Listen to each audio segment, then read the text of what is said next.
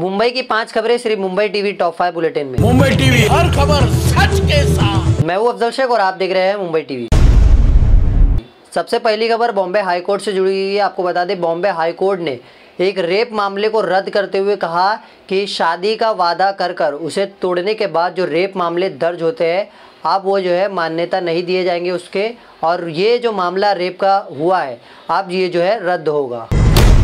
दूसरी खबर, मुंबई की पूर्व मेयर किशोरी पिडनेकर से जुड़ी हुई है। आपको बता दें, बैडी, बॉडी बैग घोटाले मामले में ईडी ने जो है, वो पूर्व मुंबई की मेयर किशोरी पेडनेकर को समन भेजा है और कहा है 25 जनवरी को उनको आकर जवाब देना होगा।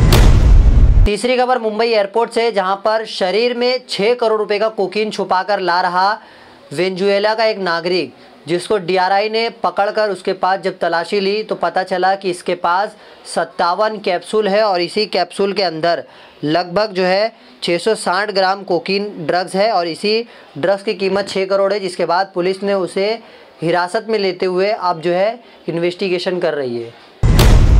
चौथी खबर, मुंबई में 26 जनवरी को होने वाले आमरण अनशन की धमकी से जुड़ी हुई है। आपको बता दें, मनोज जेरंगे पाटिल, जो कि मराठा आरक्षण को लेकर लगातार चर्चाओं में बने हैं, उन्होंने अब जो है, महाराष्ट्र सरकार को एक चेतावनी दी है कि मराठा आरक्षण को लेकर अगर कोई निर्णय नहीं लिया गया तो वो 26 जनवरी को मार्च करते हुए मुंबई आएँगे और वहाँ पर आमरण आंचन करेंगे। अब ये देखना है कि मनोज जरंगे पाटिल किस तरीके से 26 जनवरी को आते हैं और अपना आमरण अनशन करते हैं? पांचवी खबर, खार से, जहाँ पर खार में एक 40 वर्षीय व्यक्ति ने दस रुपये के चक्कर में मर्सिडीज से उतरकर इस तरीके की गलती की कि उसके पीछे से उसका घड़ी और एक टैब गायब हो गया, जिसके बाद दस रुपये के चक्कर में मर्सिडीज वाले के दस लाख रुपए के सामान उड़ गए, जिसको लेकर खार पुलिस स्टेशन अब मामला दर्ज करते हुए आगे की जाँच कर रही है। ऐसी तमाम अपडेट से जुड़े रहने के लिए सब्सक्राइब करें मुंबई टीवी। मैं अफजल शेख, फिर हाजिर हूँ एक नए न्यूज़ के साथ।